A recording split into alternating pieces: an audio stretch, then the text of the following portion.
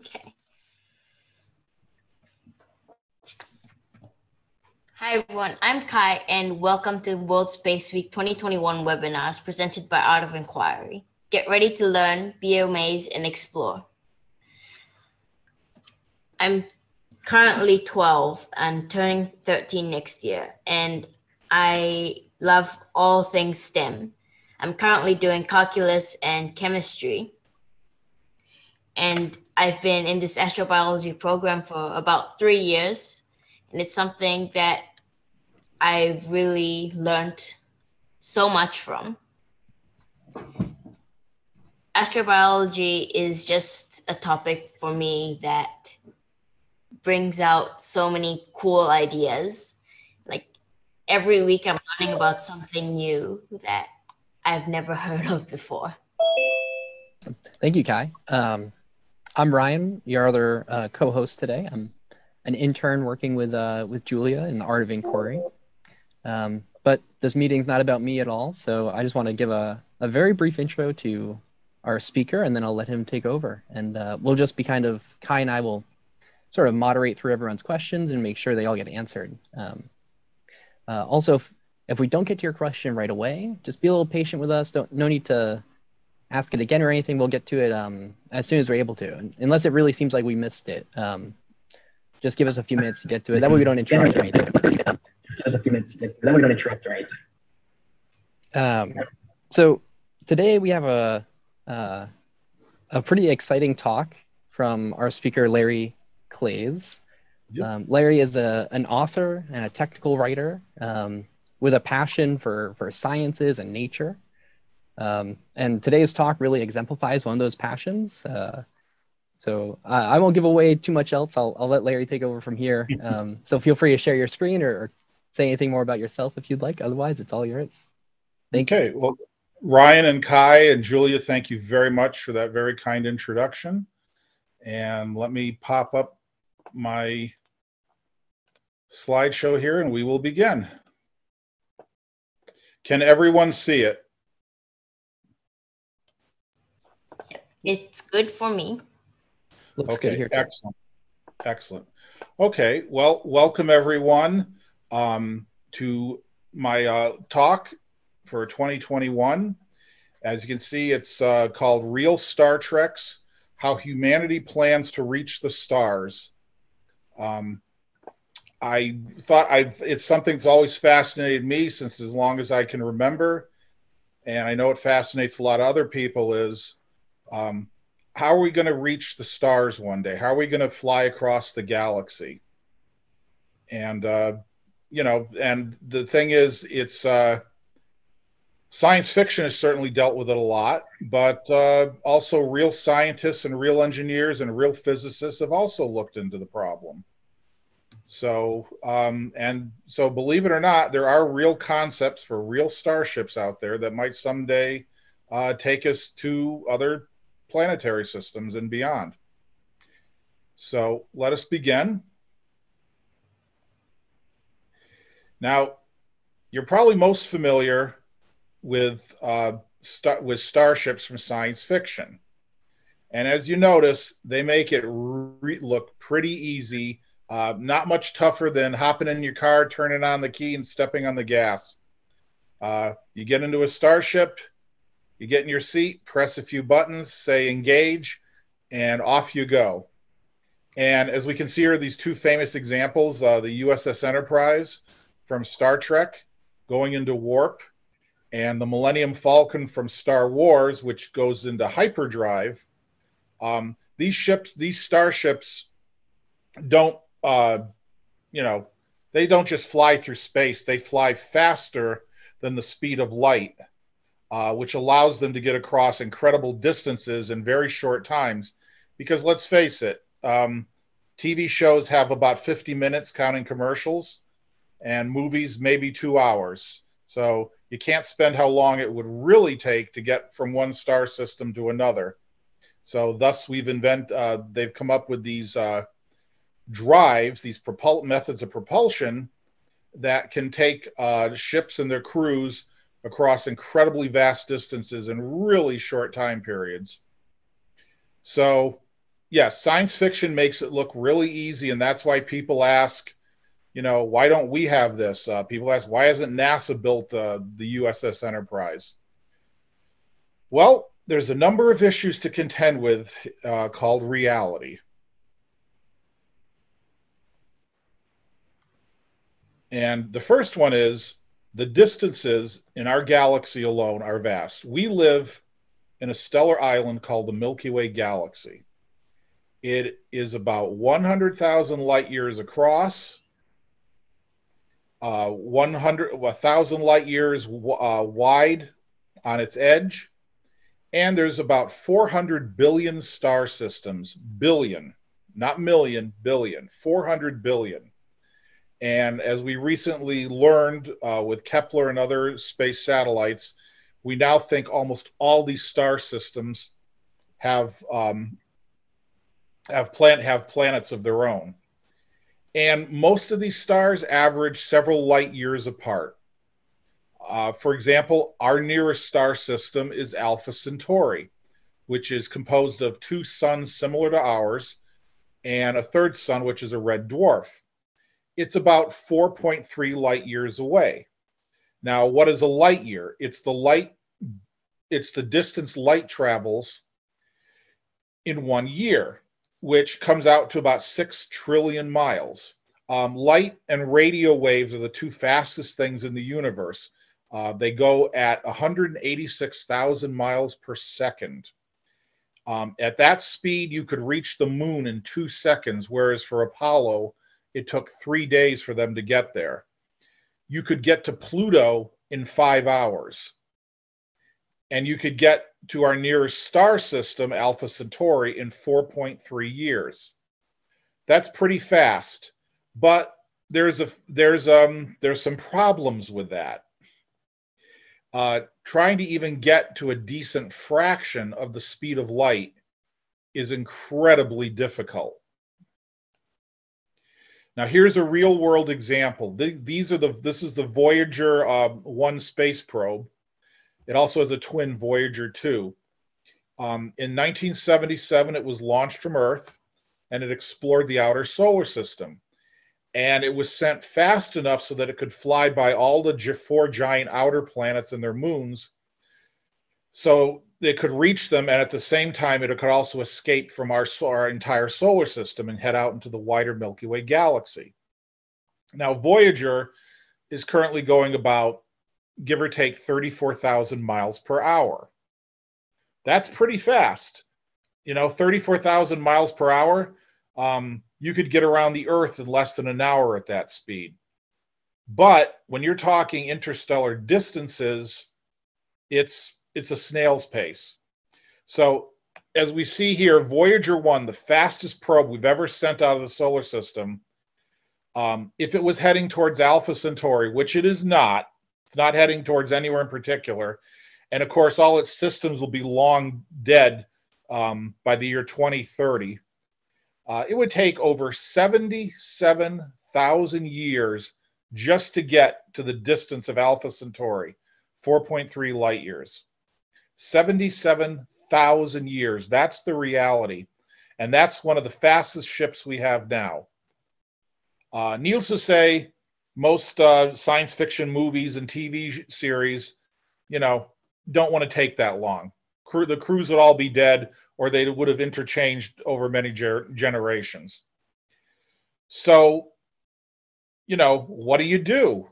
What do you do? You know, we our chemical our chemical rockets, our, our most powerful chemical rockets, cannot um, cannot go. You know, push any ship fast enough to reach another star system in any reasonable amount of time.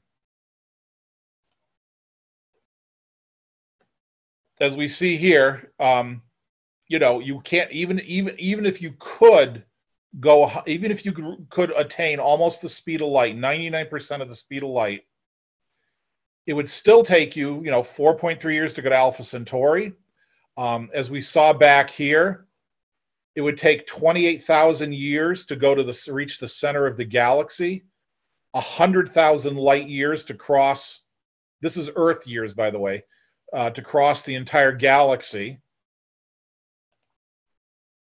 So, you know, what, you know, and especially if you have a crew on board, or even if you don't have a crew, if you send a robot probe out, um, the people that sent the mission out aren't going to be around. It's going to be their descendants who finally get the data back, assuming that can happen.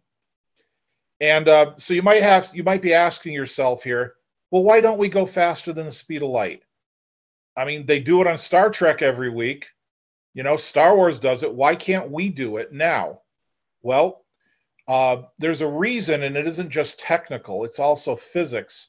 Um, Albert Einstein found out that if you want to attain the speed of light, to actually go at the speed of light, uh, you would need and you would end up being you need more and more energy for your ship until you actually reached infinity.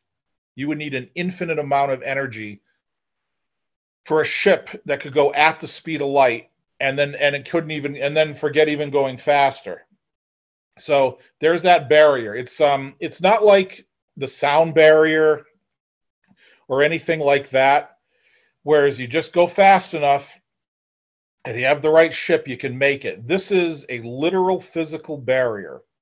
Now there are ways to get around it but we're going to talk about that later. So since we now are now know that we can't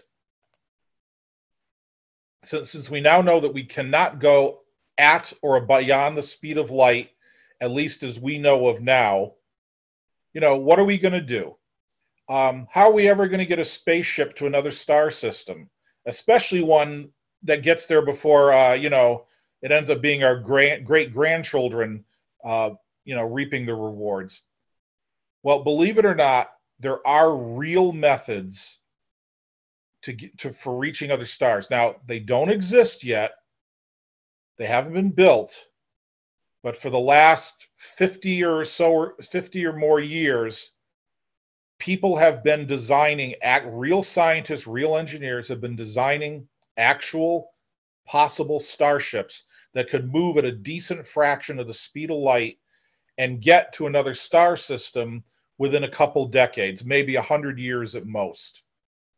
And I'd now like to introduce to you some of these real possible starships.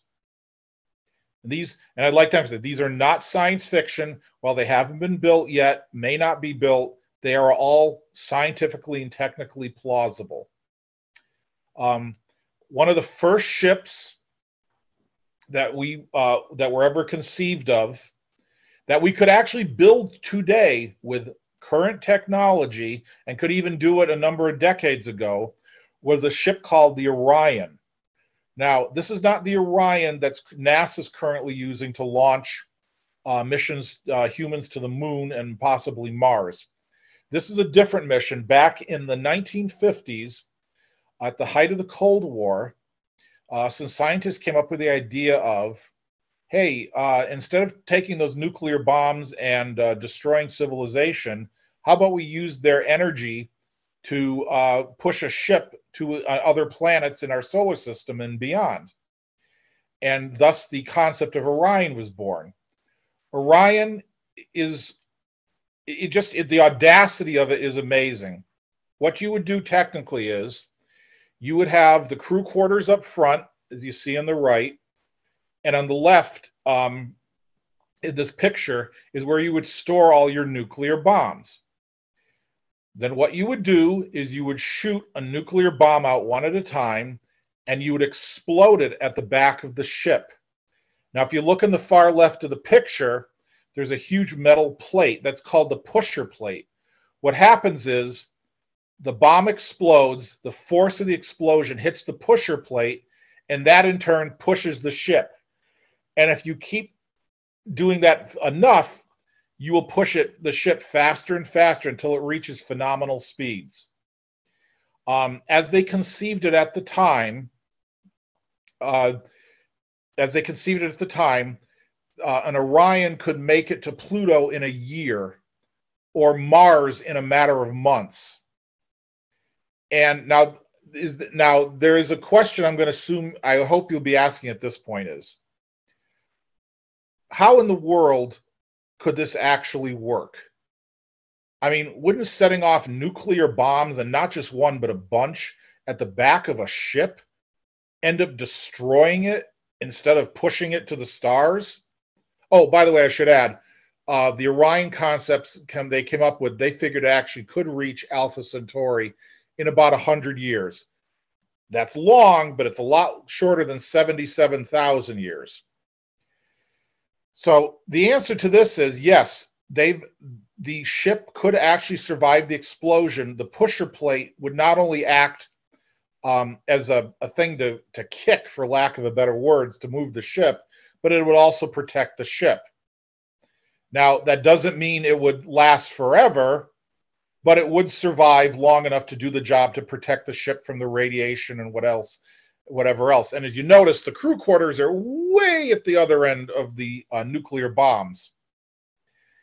And uh, as Carl Sagan once said, it's probably the best use he could ever imagine for nuclear weapons, uh, actually exploring stars instead of uh, threatening to kill each other, to be blunt.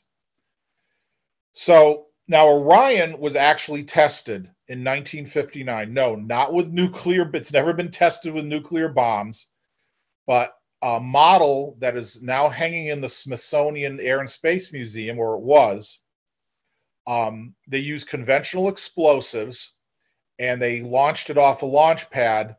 And by God, that probe called the Hot Rod actually flew way up into the air, and every explosion that came out behind it didn't destroy the pusher plate and it pushed the ship faster. So it is theoretically possible. And as I said, Orion could be built today. We could reach the stars in about 100 years if we started building such a ship now. Um, so that's that's Orion. Um, and if you're in case you're wondering whatever happened, um, in 19 they were working on it. Uh, a lot of even the Air Force got involved, uh, NASA got involved. Uh, but then in 1963, the United States uh, nuclear test ban treaty happened, um, which prohibited, because up until then, from 1945 until 1962, um, the various superpowers that had nuclear weapons were constantly testing them above ground. And in the United States case, with something called Operation Starfish in 1962, they detonated a nuclear bomb in Earth orbit. It fried a whole bunch of satellites. So uh, people came, people decided that, that this has really got to be controlled. So no more nuclear testing anywhere on Earth, space, or in the ocean, only underground. And of course, what this this also took out Orion, and the project drifted away.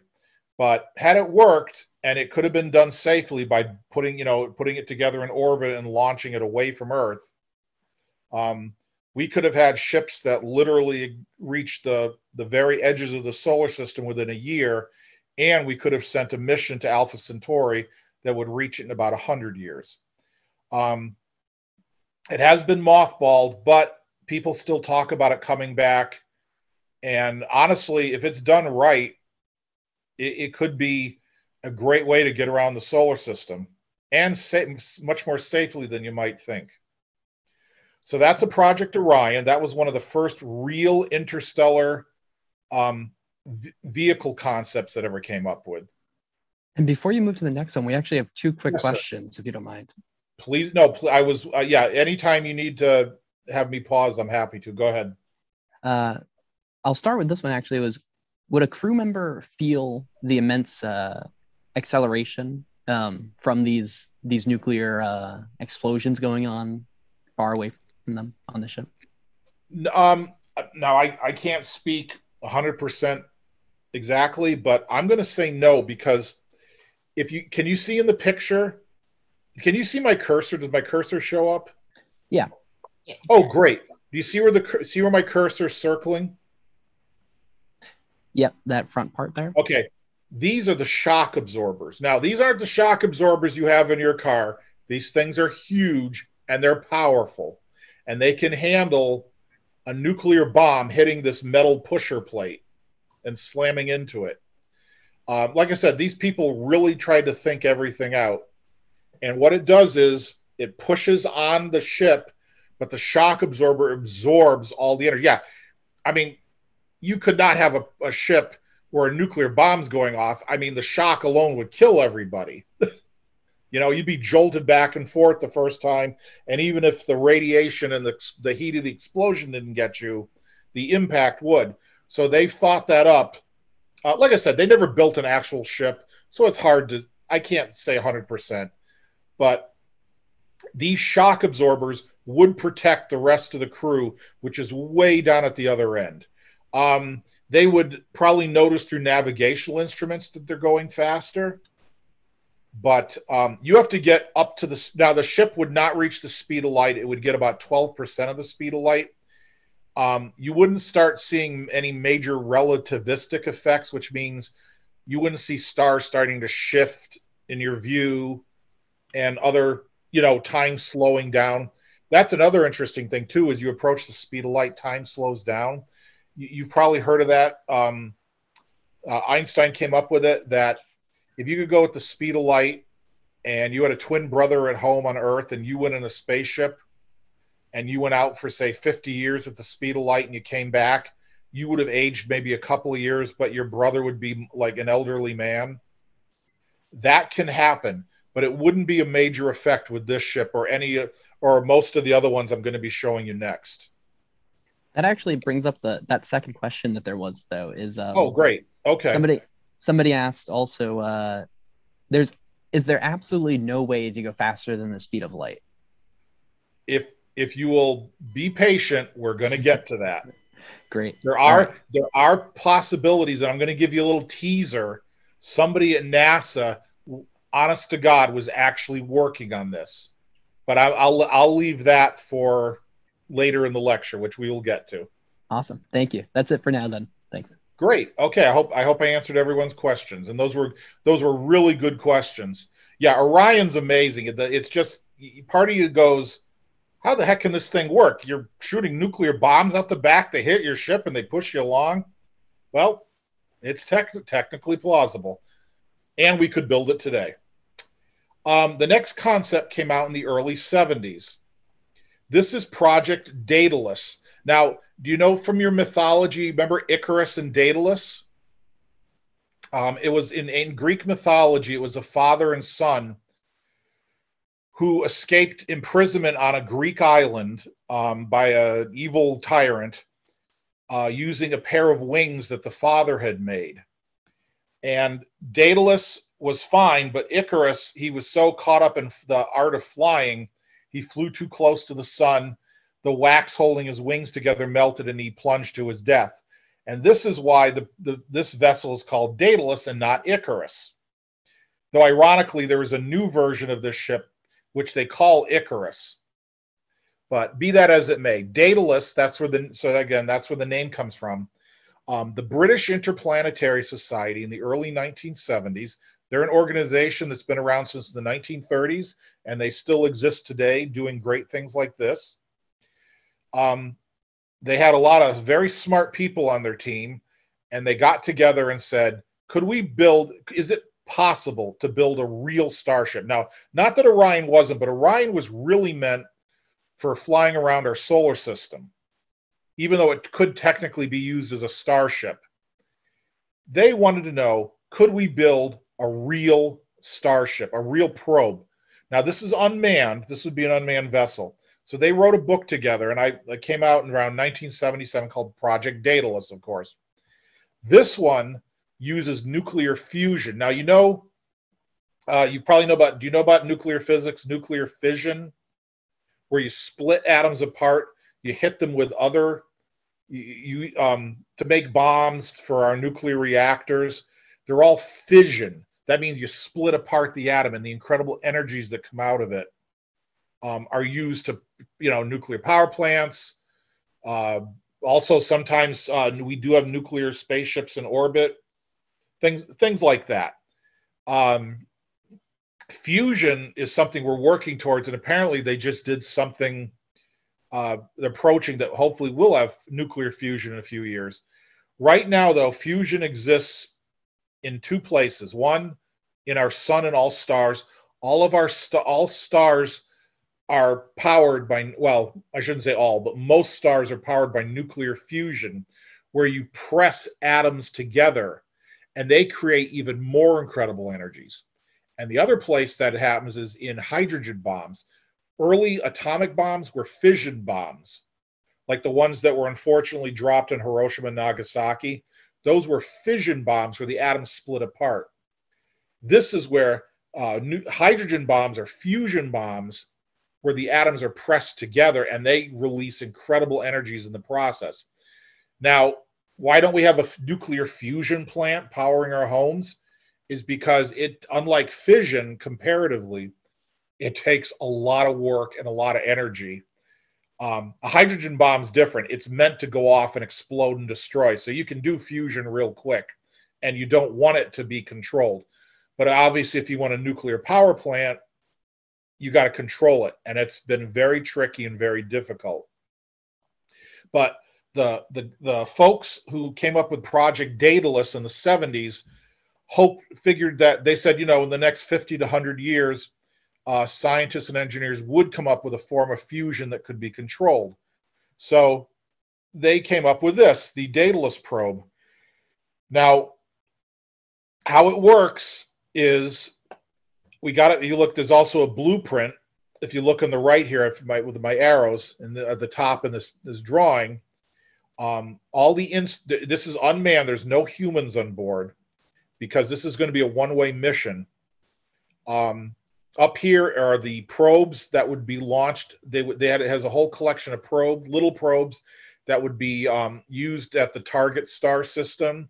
Uh, huge telescopes the computer brains, and even something called the wardens. They're little robots that would be controlled by the main computer brain in the ship um, to go out and repair the ship where necessary.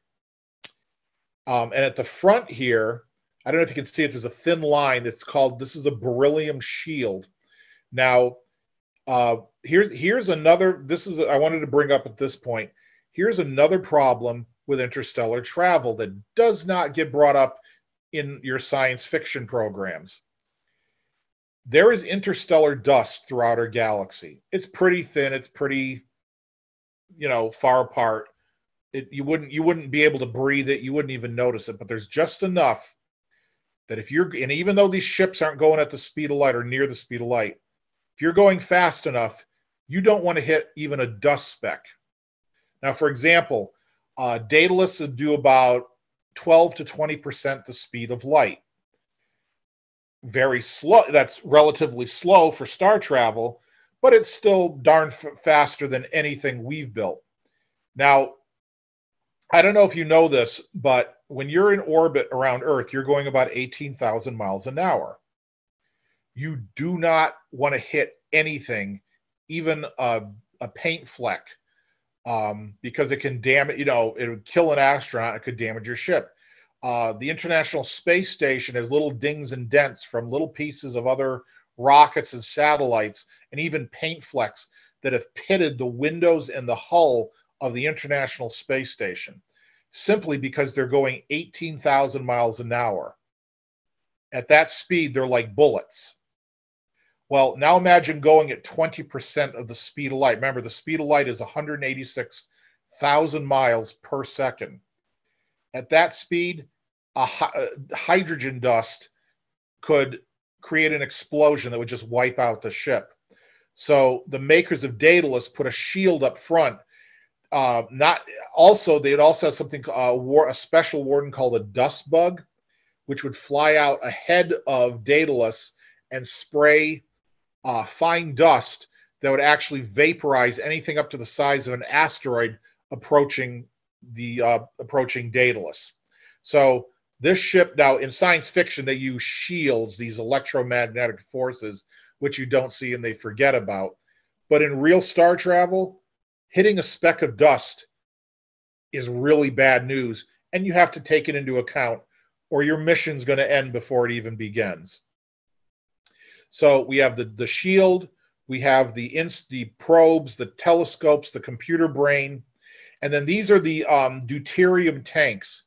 This is where um, the deuterium, the the, uh, the the special material, hydrogen, is stored, where they are then fired together. If you see here, see down here, this this big cone at the bottom, they're fired together in this conical area and it creates a fusion burst that pushes the ship along. It's a little bit like Daedalus, except not quite as violent or deadly. And of course, there are no humans aboard, but you still have to protect the instruments and the computer. Excuse me. So, so, um, Daedalus was planned in the 70s. It is also plausible, even though, as I said, we still don't have fusion reactors. And it was um, it was designed that it could reach the Alpha Centauri system in 36 years. Now, one reason it can go so fast is it's not going to stop. It would cause they they realized with the limits they had of trying to be reasonable and technically plausible, Daedalus could not um, could not be slowed down. So it would go flying through the entire Alpha Centauri system in a matter of hours.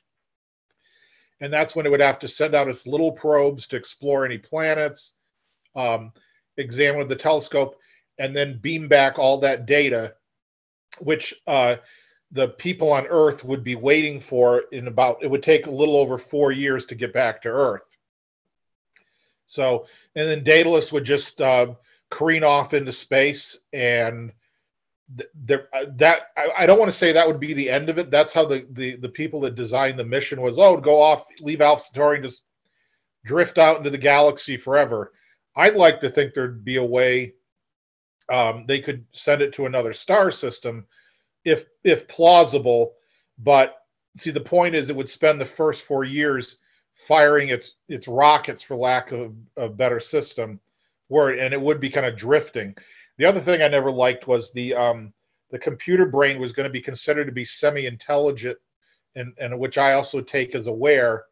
So my thoughts were, what's this poor computer brain going to do? Be drifting out in the galaxy with nowhere to go and no way to go anywhere else or return.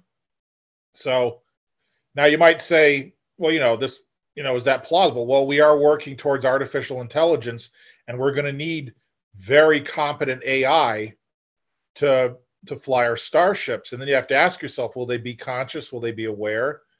Does that therefore make them intelligent thinking beings? And they have to be accounted for. They didn't do that with daedalus in the 70s um, and it might have sound that might have sounded too wild for them but it's really something to think about because we are now at a point our, our artificial intelligence machines they're not hal 9000 from 2001 but uh, who knows what we'll have in the next 10, 20 years, and certainly by the time we can get starships to other star systems. But that's Daedalus. That was um, again one of the early, early and most famous um, starship concepts. And this might be another good time for um, a quick Sounds question. good. Go ahead. Um, Somebody asked if we have existing tech right now that helps us to be able to actually work with the production for these starships. yes and no. If we really had to start working on it, we could. Um, no one is building a starship right now, but here's something I can tell you now that I couldn't say to you even five, ten years ago. They are working on another kind of starship concept, which we'll also get to.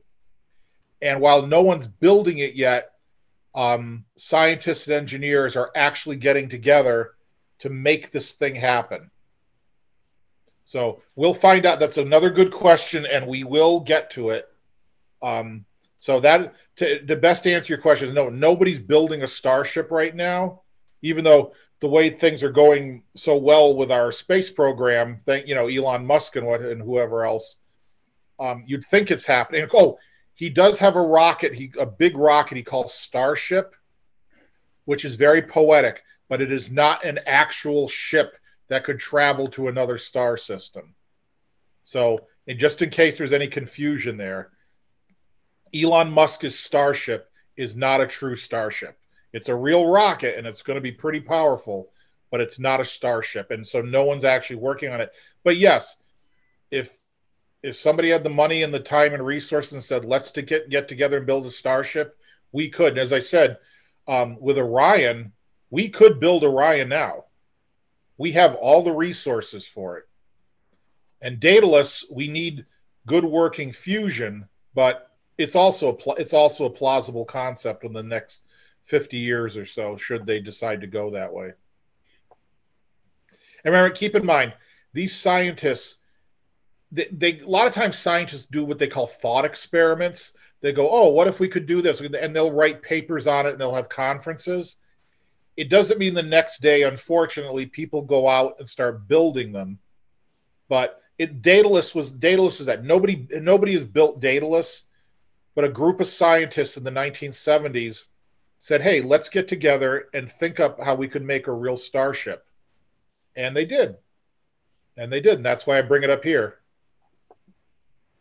Um, any other questions? Are we? There was another question about the um, the VASIMR uh, VASIMR engines. I don't know if uh, if you have those in the plan to talk about or anything, but no, um, because it, it's it's it's another type of nuclear ship concept. Um, it's a nuclear fission concept, and it it has a few issues and it's plausible, but it's not a starship per se. If it really worked, it could get us to Mars within a couple of months, and it's a real thing, and people have been working on it, but it still hasn't happened yet and since it's not really a starship, I didn't want to talk about it, but we'll be covering it. We've already have, and we're going to be covering enough um, subjects here that you know we uh, we'll be talking about things like it. Awesome, thank you. Of course, there's plenty of info online, but since it wasn't a real starship, I didn't want to bring it up here. Awesome, thanks. Yep. Okay, are we ready for the next starship? Um, in 19, now this is an even earlier concept um, that I'm bringing out later because it's even more advanced. In 1960, a fellow named Bussard came up with something called the Bussard ramjet. And what you do is one of the problems with starships is, or any ship, you have to carry your fuel with you. Well, that makes your ship heavy, and therefore you need more energy to move all that heaviness, and therefore you need more fuel and therefore you need more uh, need to be heavier therefore you need more fuel and onward and onward. Well he came up with the idea of what if you didn't have to take your fuel with you to propel your starship? What if you could collect it from the environment? And he came up with the idea of a starship with a giant scoop that would collect the hydrogen gas. Remember what i talked about earlier with daedalus? Collect the hydrogen gas um, into the ship and it'd be funneled down to fusion propulsion units that would then you know activate the the fusion nuclear reactors and kick the ship in this case almost up to the speed of light it's a really neat idea. It's almost eloquent eloquent um, that you could collect your fuel on the way you know convert it into energy and push your very large starship actually um, you know towards other star systems going at almost the speed of light. Well guess what boys and girls? There's a problem. The hydrogen gas in interstellar space is really thin and far apart and you see the scoop here well it looks nice artistically but in order to collect enough hydrogen to fire off these hydrogen fusion engines, you would need scoops the size of a small planet. And as big as Bussard, the Bussard ramjet is, the, the, the scoop would have to be ridiculously immense. Well, there is a solution. Um, you could use, instead of a physical scoop, you could create, generate a huge elect- electric magnetic field that would collect the hydrogen. Now, of course, that would take a lot of energy and the technology to run it. Um, and that would create its own problems. But the idea is so eloquent that you don't, you know, you, you catch your fuel as you go, um, that scientists are still working on how to create, you know, create a magnetic field strong enough to collect enough hydrogen to kick in the nuclear fusion reactors to go at near the speed of light. So, needless to say, the Bussard ramjet has not been built yet, um, but it, it's it's eloquent again. It's eloquent enough that we could we could um, you know reach reach another uh, star system with it at almost the speed of light if we solve the magnetic field collection problem. So there's that. And um, and scientists have also now you've probably heard this from Star Trek.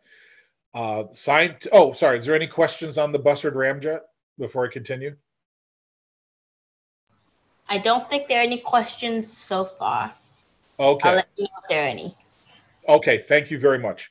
Um, so we've now uh, science has also come up with another idea using another form of energy and you may have heard this the antimatter starship now you may have heard this in star trek because the enterprise and its other ships in starfleet use antimatter, antimatter as part of its propulsion process the fantasy part which is great which is great because it is plausible the fantasy part of the uss enterprise comes in when they use something called dilithium crystals to focus the energy to have them go at warp speeds and therefore faster than light. Dilithium crystals do not exist. So, and we don't know of anything like them. So that's the slight drawback for the Starship Enterprise propulsion. But antimatter is real. What antimatter is, is a mirror matter, or anti, they call it anti, but a mirror uh, with a different charged particle of matter in our universe. Now we are, we of course we call you know, our universe is made of matter. There's very little um, antimatter about, which is good because there is a blessing and a curse with antimatter. If antimatter interacts with matter, it creates a tremendous explosion. And of course, the more antimatter there is, the bigger the mat, the bigger the explosion when it interacts with matter. Uh, to give you an example, one kilogram of antimatter interacting with an equal amount of matter would create the equivalent of 43 Hiroshima atom bombs. That's just one kilogram. That's unreal. Uh, you know, thus they said the blessing and the curse. Now the problem is antimatter doesn't exist very much in nature. We can create antimatter in facilities, but they create very small amounts and it is extremely expensive. And then you have the other. Now, let's pretend we create an antimatter engine. We know that doesn't, you know, the cost is, it doesn't matter. You can actually have a ship made of matter, of course, with an antimatter engine. Well, the problem is, of course, how do you keep that antimatter contained until you need it? Uh, one possibility is again is using magnetic because you can't you can't put antimatter in a normal matter chamber because the minute the antimatter touches the matter, it creates a huge explosion, and thus the end of your mission. What you can do though is magnetic fields would keep antimatter stored and not touching anything until you want it to to create the controlled energy. Because think about it all rocket ships whether they're the chemical rockets we see now the the nuclear fission and fusion ships we've seen they're really all rockets are really controlled bombs. They are controlled explosions that are used to get us from one place to another antimatter is no different in that sense but it's extremely volatile. And you'd have to hope that the magnetic field doesn't fail because if that happens we're all anybody on board is in serious trouble. Um, again antimatter ships are plausible but there's a lot of work to be done. And part of the problem is right now very little antimatter is actually generated and it costs extreme a gram of antimatter costs in the trillions and nobody's creating nobody's generating antimatter of course if they start doing it for starships and other reasons, um, the price could come down. but that's just one of many problems. So again, antimatter starships are plausible, but they have problems. So I have now presented to you um, all, some of the recent and current big production designs for for uh, send, you know, vessels that could reach other stars in our lifetimes. As you see, not trying to take the fun out of it, there's a lot of real work and there's a lot of real problems in physics and technology uh, to make them happen. Oh, by the way, I wanted to show you. Um, do you see the the hand? The guy's holding something in his hand. Um, his model. There's the real the antimatter starship. He's holding a uh, star destroyer from Star Wars to give you an idea of the scale of what you would need. Um, these starships, as we've seen, can get pretty darn big, especially using old technology designs. So we now that we, you know, now that you have some idea that, oh yeah, it isn't going to be easy to get to the next star system, despite what my science fiction program keeps telling me. And that's okay. It's reality. Um, you find ways to work around it, and who knows what we're going to learn and develop in the process. Um, when we went to the moon with Apollo in the 60s, there were a lot of technical challenges. Of course, no one had ever gone to the moon before. When they started when they said uh, let's when John F. Kennedy said let's go to the moon in 1961 by the end of that decade, um, one man had orbited the Earth. We'd had some satellites in Earth orbit. We'd sent a couple to the moon, but nobody had done anything about building a manned mission to the moon. But they got together, they focused their energies, and by 1969, uh, humans landed on the moon. And in the process, we made all kinds of new technologies, uh, computers. They needed good computers, so they started making them smaller and more powerful. Um, you can thank those kind of innovations for the cell phones you have in your hands and the laptops on your desktops that are way more powerful than anything Apollo had, but they're the ones that got everything started. So when we start working on all these technical problems um, with real starships, we're going to learn a lot in the process. Even if we end up not having anything like a fast starship, we're going to le- we're going to get a lot out of it in the in the process. Not to mention also learn a lot about our our universe too. So you might be asking yourself at this point, okay, it's really not easy to get from one even a the next star system, let alone fly across the entire galaxy. So is anything ever going to happen? Are we going to have anything in our lifetimes? Are we ever going to be able to go faster than the speed of light? I mean, forget that. Are we even going to be able to get a, a ship to Alpha Centauri uh, that I'll see in my lifetime? Well, as someone asked earlier, there is a real plan. Um, just a few years ago, uh, this group called Break, Breakthrough Initiatives, started by a Russian billionaire, uh, has come up with a bunch of uh, incredible ideas and got it like a think tank of planning different things, like for SETI, and and in this case, a probe to another star system. Now this is called Breakthrough Starshot, and what it would use is a powerful laser aimed on a sail, a light sail, a big big light sail, but very thin that would push a ship to Alpha Centauri. And the, the laser beam would be powerful enough to get that mission there in just 20 years. Remember how I said Voyager 1 would take 77,000 years to get to the distance of Alpha Centauri? Well, it, of course, it wasn't designed to, so it's it's not it's no one's fault. But this ship, oops, excuse me, this ship would be deliberately designed to push an um, this ship this mission would be deliberately designed to push the breakthrough starshot to alpha centauri and do so in 20 years and while the light sail itself would be very large but very thin the probes would not be the behemoths that you saw before. They would actually be something like this. This, folks, is a starship. Not technically, no, but this is a pro. This is a star probe. Remember all the monsters you saw before? Well, as we know with technology, things are getting smaller and more powerful. Um, Breakthrough Starshot could carry in its light sail a whole collection of these little probes.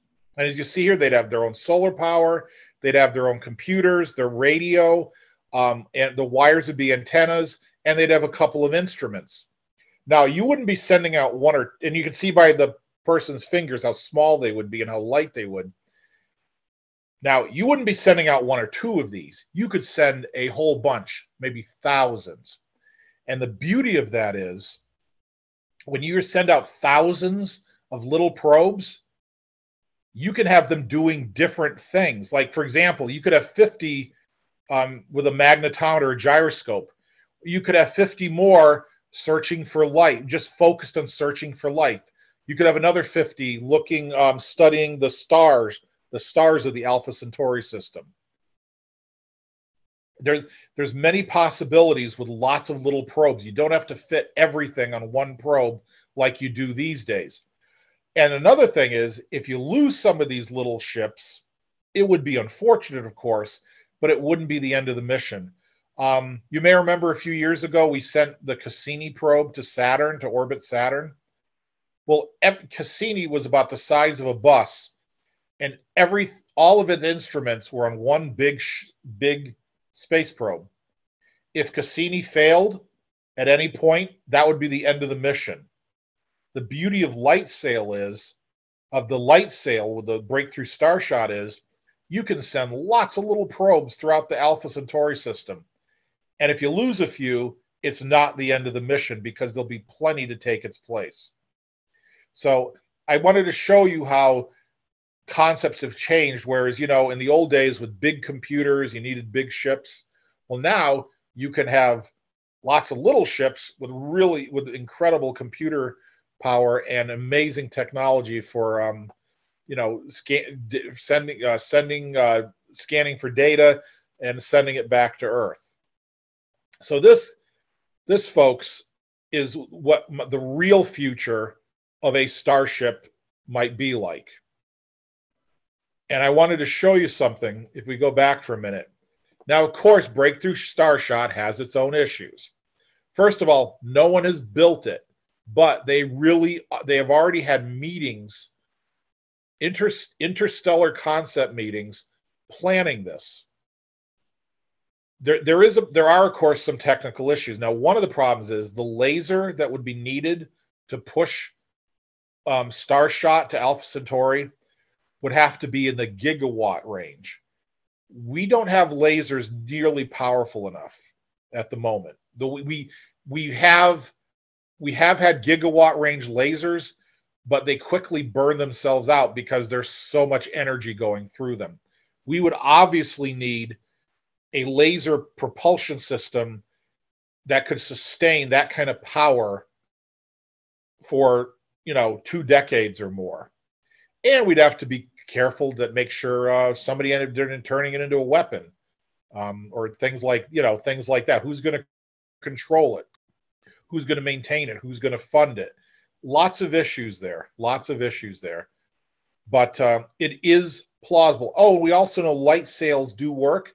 We have already sent experimental solar sails not only in earth orbit but around the solar system. So and pushed not by lasers but by sunlight. So they do work. They do work. So this, as I said, unfortunately, I cannot promise you that when it's going to be built or, you know, or how, but a number of organizations are really looking in to building this concept and it is plausible plausible using our current technology and we so had a just want to let you know. Oh, I'm sorry. Go ahead. Oh, sorry. I didn't mean to interrupt. Um, nope.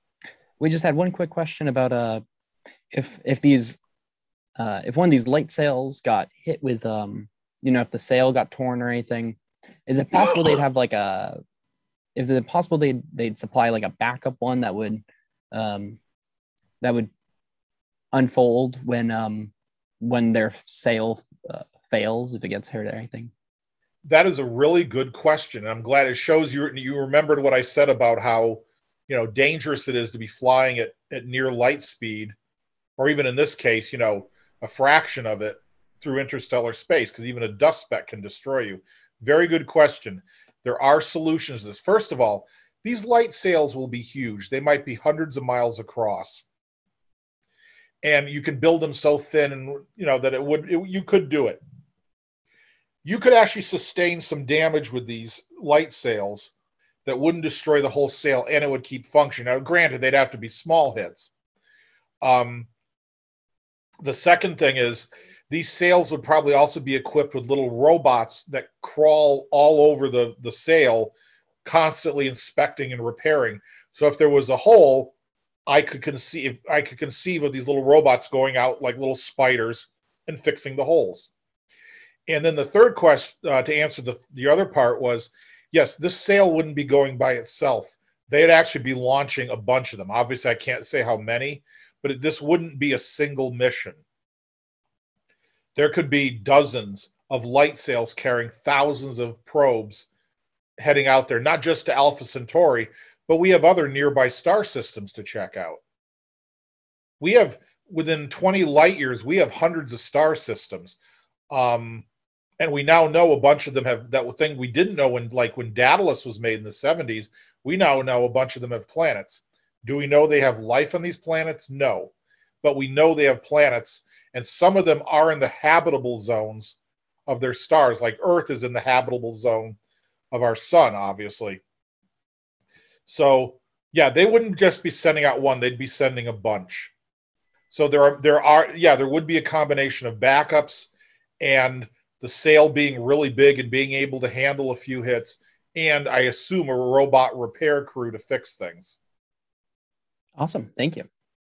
You're very welcome. So that was a good question. That that uh, definitely enhanced that section.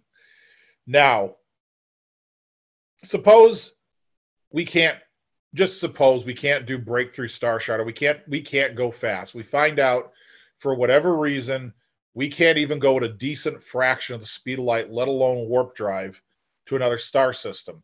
What do we can what can we do then? Well we can get there. We can we can traverse the galaxy. We can get to other star systems if we don't mind going slow and if we're sending people. And how do we do that? We build something called the multi generational starship or world ship. What these are, um, you can either hollow out an asteroid or build materials from asteroids. You can make these enormous ships um, that would literally be like Earth with Earth-like environments inside, uh, miles long. In fact, the Chinese are already uh, talking about developing miles-long spaceships and I don't. While they don't have anything, they're they're not talking off the top of their heads. Um, you could build these huge ships, uh, put a crew inside, and unless, of course, we find a way to have humans live hundreds and hundreds of years, these people could live and die, and you know have children, and have and create a future generation that would make it to the next star system, and that to to settle there. That's been something that's been thought of going back to the 1920s, if not sooner, of building huge ships, putting a bunch of people inside, having them live out their lives, having children, and, and making gener thus the word multi generation ship until that crew reaches its destination. So now, of course, again, there's issues there. Um, you know, you got to hope that each generation will want to keep doing this. You know, will they will they want to be living inside a giant ship being sent to some unknown destination that they didn't even plan on? I mean, technically you could say we're on, you know, we've lived on a giant 8,000 mile wide rock for all of human history. We didn't ask to be here but you know, and we're just and we're going in circles around a star. Um, you know, they would they would actually be on a mission having a destination. Now there's a lot been a lot of sci- good science fiction stories on this, you know, playing out the various scenarios. That's one thing science fiction's really good at. You can play out all kinds of scenarios about human uh, development, societies, encountering aliens, and do it from the safety of fiction. And yes, uh, people have written on multi generation starships. Uh, one of the most favorite, one that caught my attention when I was a kid, kid, and I do recommend reading. It's called Orphans of the Sky by Robert Heinlein, a famous science fiction author. He wrote about a, uh, a multi generation ship where at some point the crew part of the crew mutinied and they did the rest of the crew survived the mutiny but it caused all kinds of problems. And then they ended up drifting through space for centuries. And then it turns out no they didn't have don't ask me why they didn't have windows i guess where they were or something but they forgot they were on a starship. They thought the world all of existence was the ship uh, it's a fascinating read and it gives you a lot of food for thought um, but there's been other stories like that and uh, people play, you know, but you got to think about it. I mean, now if you look at the picture here, that's one plot on the right that you know looks pretty comfortable. Looks kind of like an Earth, an, a curving up Earth. You'd have lakes and you know homes and everything. I don't know. I mean, obviously this would take a lot of work, but say for example, um, something was going to happen to Earth, and we were all, you know, we were, we had a, we literally had to escape Earth um, we might have, uh, you know, people might want to build these giant ships, get as many people of it even inside inside it as possible, and reach a, another star system. You know, or maybe people don't want to go to other than visiting. They would want to live in those ships all their lives.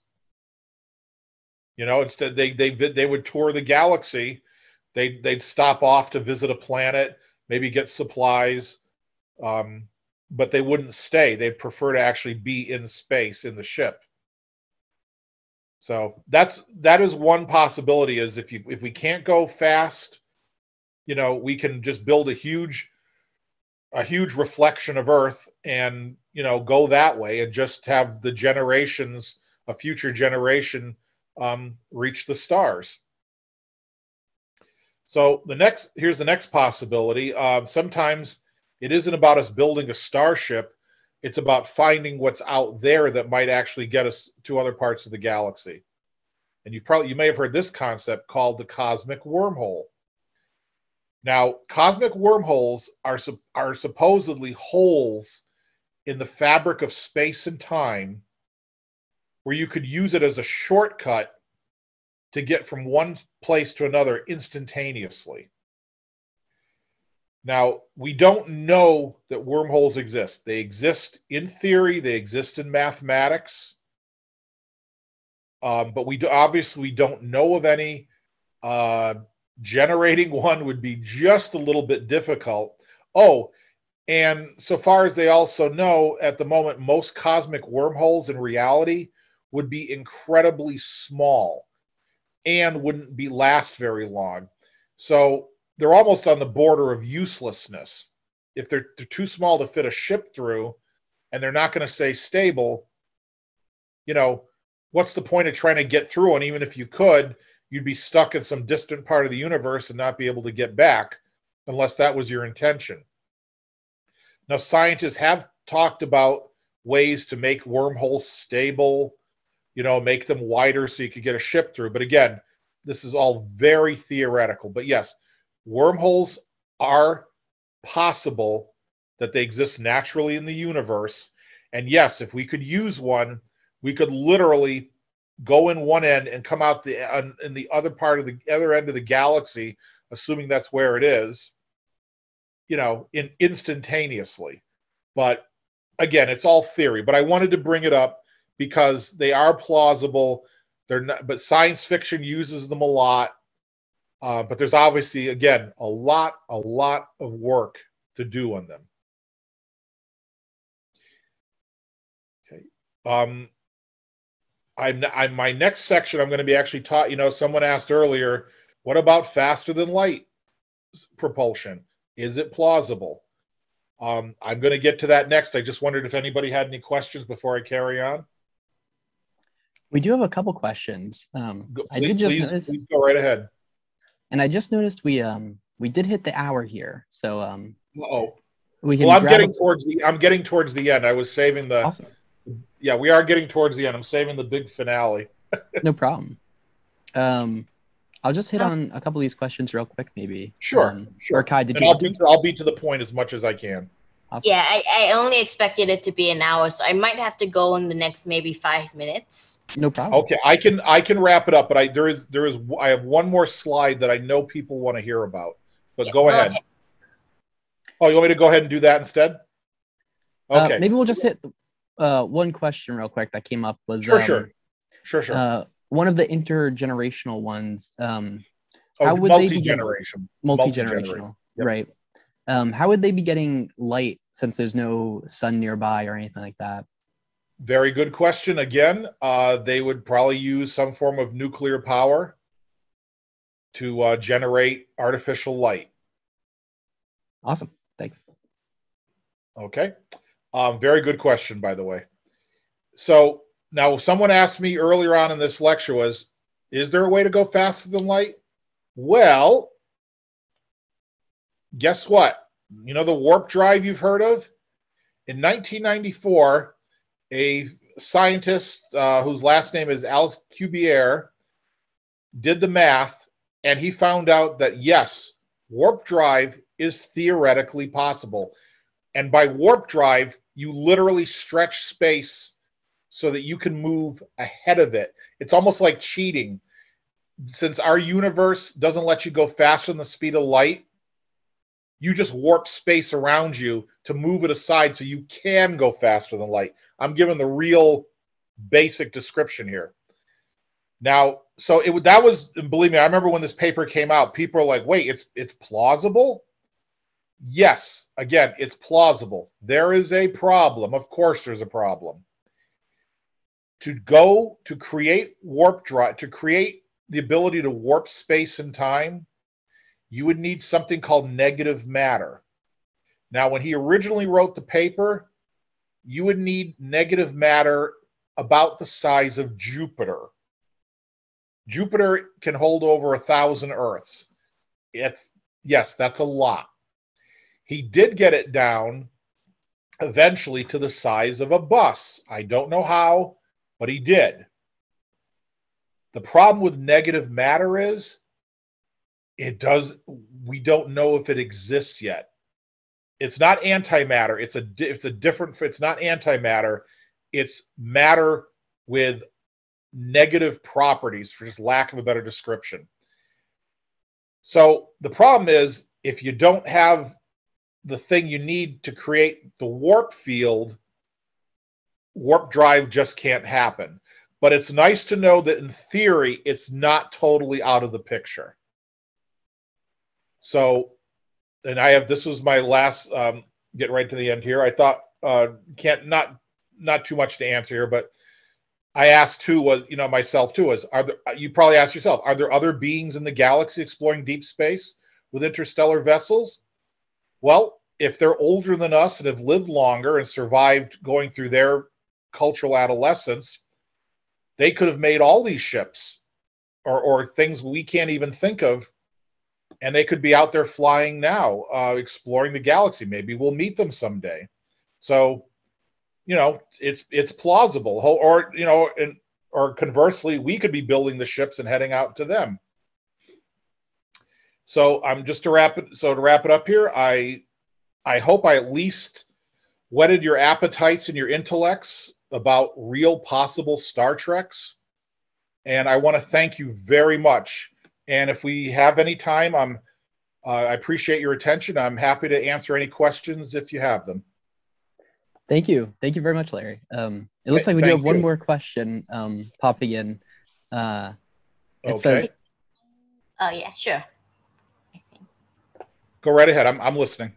If humans evolved in the past two two hundred thousand years, is there a higher chance of aliens existing? Oh yeah. There's remember I said there's 400 billion stars in our Milky Way alone. and each almost every one of them has a system of planets we now know. And there are at least 2 trillion. The number's gone up in the last 20 years. We know of at least 2 trillion galaxies of hundreds of billions of stars each in our known universe. So and and the universe is made of many of the same elements that we know of and have. Um, so I'd say the the odds are pretty pl- it's pretty possible there is. We haven't found any yet. We have no scientific evidence, but I'd say the odds alone are pretty good. But if you're wondering why we're not getting visited every week, we now through my lecture, we now have a pretty good idea why. Absolutely. Um, and one more question pops in about uh, Yep. uh, uh, drives. I'm not sure if I'm pronouncing that correctly. Say that again. Uh, it looks like Kupoblitz drives. Uh, I'm not sure if I'm pronouncing that correctly or if uh, Can they spell it? Can you spell it? it's spelled uh, in the question K U P U L B L I T Z, but I'm not sure. Uh, they said they weren't sure if they spelled it correctly. I it's not ringing a bell. There are by the way, I did not talk about all the possible starship drives there are. Um, because I wanted to focus on the main ones that would get the, you know, the general idea across. Like there's I don't know, maybe that's the one about where you could use a, a mini black hole for a starship drive. Guess what problems that creates? I do, I'm sorry, I don't know. I don't know. I'm not sure what that is. I'm, I'm I apologize. No problem. Um, Yep. Oh, it looks like they were saying that is actually the black It is hole the black- thinking of. Yeah. Yes. Um, it's also plausible, but first you have to find a black hole, and then you somehow have to put in a ship and not have it pull you in and destroy you utterly. You know. so there's those as you notice with starships, just a few little problems. right. Right. Minor det you know, I know I know in science fiction they have a guy come fix things in 10 minutes. Yeah, we gotta, you know, if we want to really do it, it's gonna be a little more complicated than that. Hey, if we could, it'd be unreal. You know, but anyway.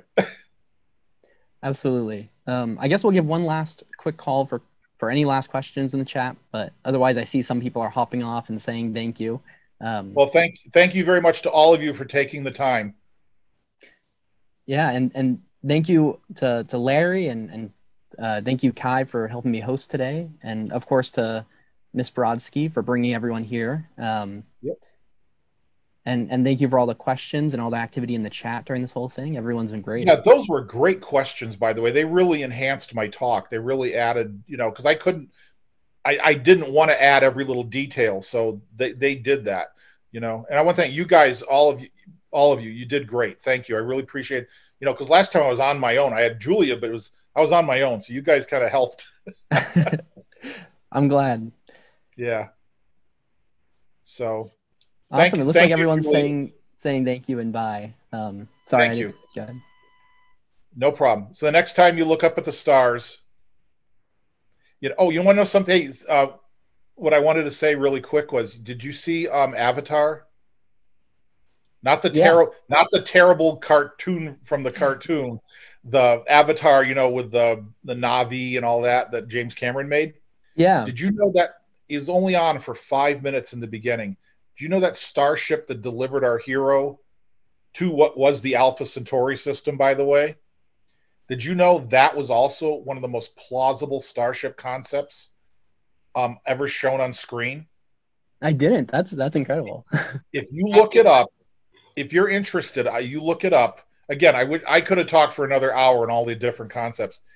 It's an it's an antimatter ship, but it's um no, is it anti? I think so. He based it um, on a real starship design, and I when I saw it, I was like, oh my god, this thing really is probably one of the better ships ever shown in terms of reality. If you look it up online, you can read about it. It's amazing, and it was only on for like five minutes. You never saw it again. But I'll you know, you be looking use- that up. that's the credit to how much work James Cameron did. Even little things like that get deep attention to detail. That's like Kubrick level, you know, 2001 Kubrick level. So I just wanted to bring that up because that always fascinated me. It's like I was looking at going, that's a real plausible starship. That isn't just something he threw together and said, "Who cares?" oh, what's it called? Um, it's called the Venture Star, the corporation that's mining the unobtainium. I love that name on the on the planet where the Na'vi live. It's called the Venture Star, as in capital venture. Not ex- that's the thing too is we always think everything out going out there is for science and exploration. Um, just as equally, it could be for commerce and economy and territory gain. Just being just being realistic. Right. You know, because look, our space program is now being dominated by um, the space industry's commercialism. And it's great in one way because they're actually, you know, they're getting out there. They're doing, I hate to say it, they're doing what the government's been faltering on. But they're also out there to make money. And that has its good and bad points. You know what I mean? So that's one thing I thought in Avatar that was also kind of realistic. They weren't going there to explore; they were going there to, to mine this material and make lots and lots and lots of money. And that could be just as re. All right, when the Europeans came to the New World, you think they came here for science? No, they came for gold, territory, and unfortunately slaves. That's that's the reality, not what I wish it to be. Right. Wait, he says, how was it spelled? The ship? Is it uh venture, Venture. like that? V- yeah, venture and then star, two words. It's a corporate ship. Literally, it's the corp the corporation, the mining corporation, that's their ship. Yeah, if you look it up, if you do Avatar Venture Star, um, you'll learn you'll actually see there's a lot of detail on it. All right. Well, if there's no other questions, um, I I think, we're can we can we can sign off. It's been great. Thank you so much. Um, yeah. Sorry, I and went a little. Sorry, I went a little over, but I Oh, no appreciate problem. Thank you so much, Larry. It was amazing. It was such I- a pleasure. Thank you. Well, thank you so much for the opportunity. I really enjoyed this, Thank and it was nice. It was nice. Uh, Kai and Ryan, it was nice to meet you. I mean, Julie, of course, I know you. Um, Kai and Ryan's really nice to meet you, and whoever Luca, Be- Luca is, I don't know. Hello, Luca. so, thank you very much. Thank you very, very much. Awesome. Thank you so much. Okay, you guys take care.